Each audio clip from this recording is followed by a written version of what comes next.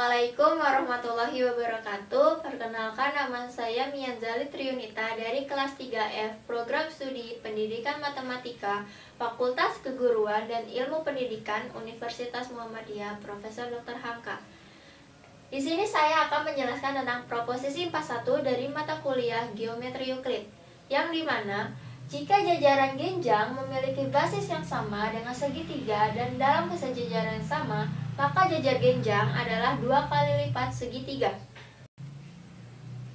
Nah, di sini kita sudah mempunyai gambar jajaran genjang ABCD dan segitiga EBC. Dan di dalam gambar ini, biarkan jajaran genjang ABCD memiliki basis BC memiliki basis BC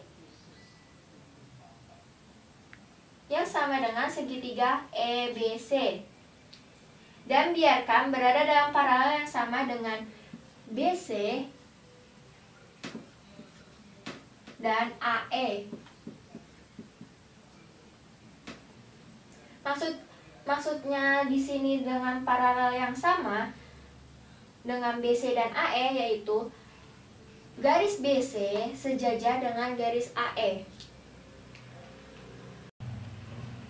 Setelah itu, kita akan tarik garis dari titik A ke titik C. Seperti yang dijelaskan di postulat 1.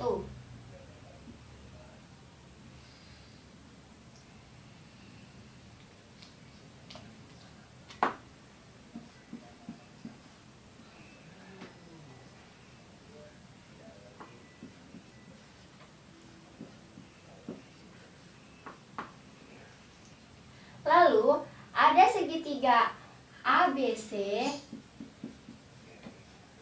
segitiga ABC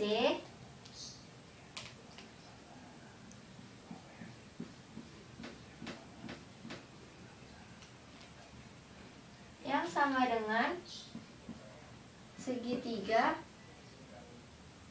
EBC. Nah, segitiga ABC dan segitiga EBC ini segitiga ABC ini sama dengan bunyi dari proposisi 37.